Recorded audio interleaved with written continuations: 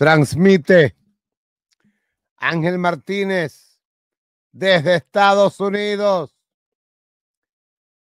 El tema obligatorio, Venezuela.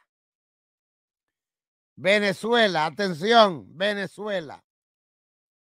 Aquí está el general de Estados Unidos, comandante del Comando Sur, esta señora, eh, es la general de cuatro estrellas.